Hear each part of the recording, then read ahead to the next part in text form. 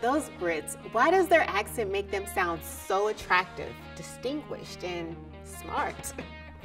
it's funny because half of what they're saying is as crude as American English. It just sounds so much better. Do you know what this British slang actually means? Question number one.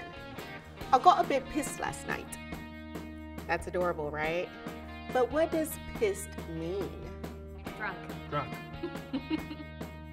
In the US, we may assume this meant a person was angry, but actually, pissed means drunk, like pretty drunk. Question number two. Sometimes you get so pissed you start throwing up and it's honking. Okay, what does honking mean? Well, honking Um, birds. really uh, loud, like like lots of throw up. I've never heard of this word before. Honking means it smells bad. honking. Huh. I didn't know that. Question number three. After that real hard night of drinking and puking, your friends and you might reminisce about it. That night was a bloody cock up. so, what does cock up mean?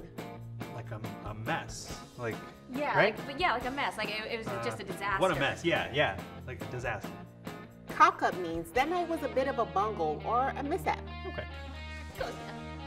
Cheerio, mates.